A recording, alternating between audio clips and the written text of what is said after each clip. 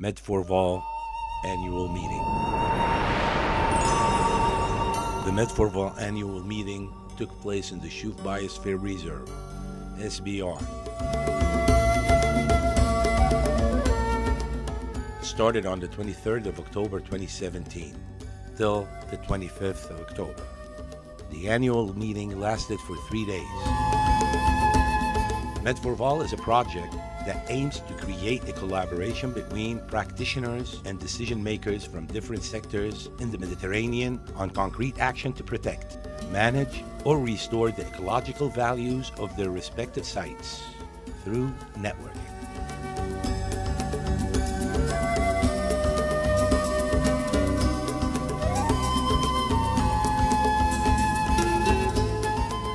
It is worth nothing that the project is funded by MAVA, MAVA, and coordinated by AIFM.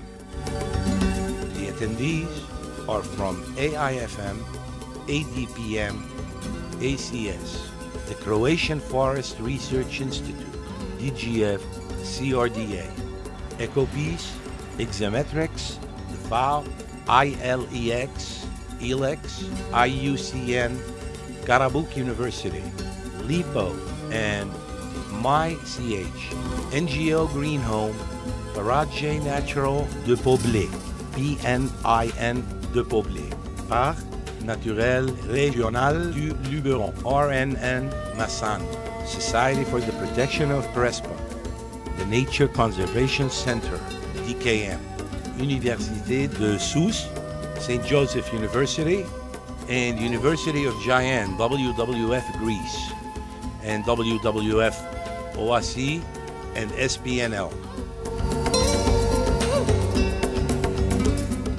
This meeting will enable the network members to meet, review the implemented actions, plan actions for the end of the phase of the project, and build the capacity of the members of the sites on specific issues jointly agreed by them through special training sessions.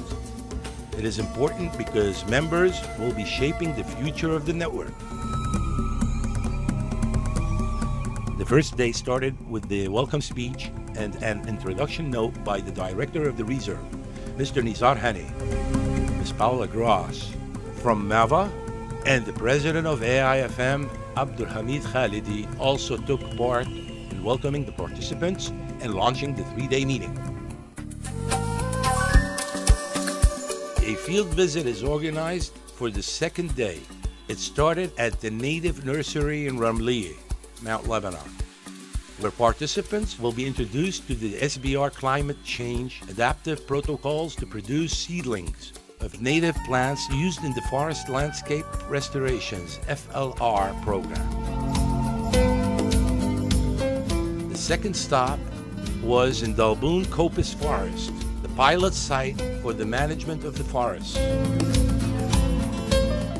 There, they will learn about the SBR policy and interventions related to biomass production and fire prevention.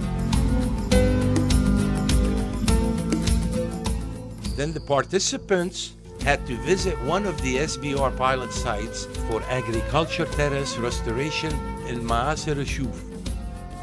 The last stop had to be at the Forest Landscape Restoration Site in the core area of SBR and learn more about the FLR work.